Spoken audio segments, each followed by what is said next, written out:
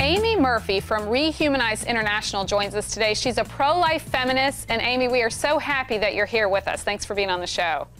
Happy to be with you.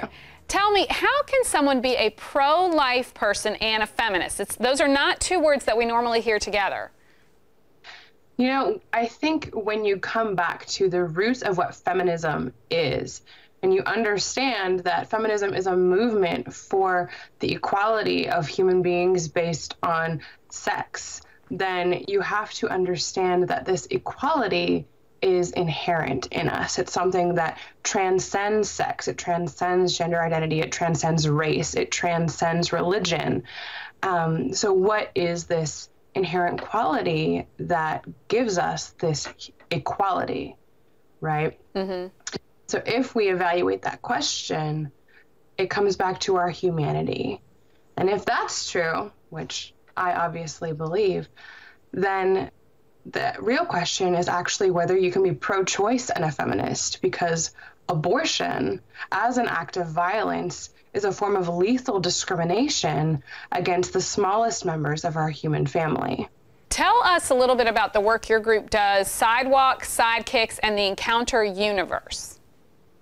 So, Sidewalk Sidekicks was a program that we developed specifically, uh, you know, to reach non-sectarian or non-religious audiences to be able to empower them and equip them to be able to reach um, you know, abortion-minded people entering an abortion clinic uh, with compassion, with resources, uh, you know, with a, a heartfelt and nonviolent response to abortion.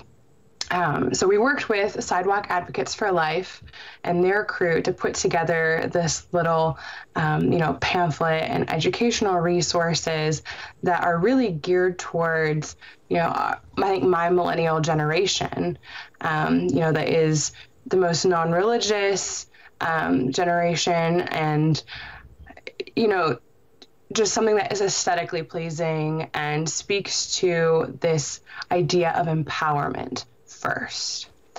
Um, Encounter Universe is a, another project that we developed that is based on the idea of Sonder.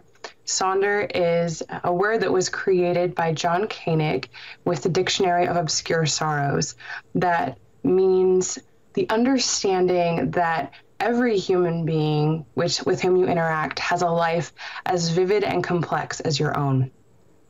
So, practically speaking, what this means is empathy on the ground in our actions, in our conversations with people, um, you know, in everything that we do, understanding the selfhood, you know, the, the je ne sais quoi about human beings and like what what we are really comes to to view, I guess, to full view through story, through narrative, through understanding the depth of our lives.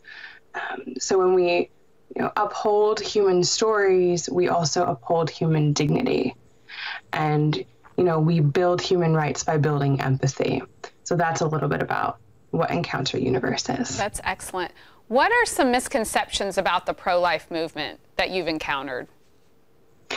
You know, there's a stereotype that everyone in the pro life movement must be a conservative, Christian, old, um, you know, male. I think also that you know there's that in there, um, and for so many of us, for so many of my peers, you know, it's a young, woman-led movement that is welcoming and inclusive to secular people, uh, you know, to people from all these different religious backgrounds, from you know lower class to upper class, everyone in between.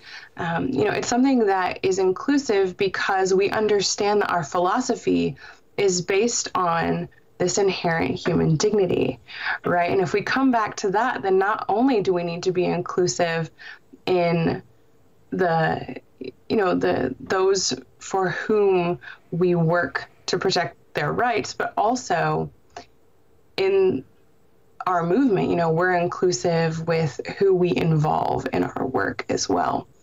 Um, so there's, you know, this misconception about who we are, and I think the younger generation is doing more to demonstrate the inclusivity of the movement. Excellent.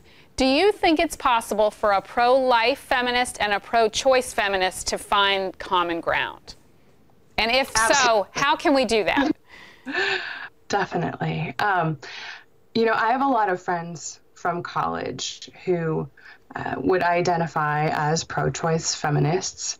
Um, and you know, keeping this line of communication open, this conversational dialogue, you know, this long term friendship is something that has helped us to see where we can find our common ground, where we can work together on these issues. Um, you know, I think there's this polarization of politics that happens in our nation where we can be tempted to dehumanize people on the other side of the political spectrum. And so, you know, the way to overcome that dehumanization in our political discourse is just to build friendships with people who might be on the other side, right? Because when it comes down to it, pro life and pro choice feminists both believe in the empowerment of women, both believe that we need to be doing more to, uh, you know, offer uh, help, resources, and empowerment for those who feel like they have no other choice but abortion. So there's so much that we have in common. So being able to find that common ground, I think, is going to propel both sides uh, of our movement to a more holistic, human centered uh, ethics and practice. Excellent. Aimee, tell us um, where we can find more about what you do in, in your group. So you can find us online at rehumanizeintl.org. Uh, also on Twitter, Instagram, and Facebook at rehumanizeintl. And uh, if you're interested in getting involved with us on a local level, we're also starting affiliate communities around the nation. So you can get in touch with us through our website to learn more about that. Excellent. Thank you so much for being with us. We are so grateful. Thank you so much. Have a beautiful day.